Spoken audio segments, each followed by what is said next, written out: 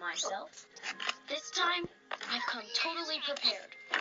I couldn't have done it without him. The old Charlie Brown would still be lying in bed with a stomachache. Huh? Oh, good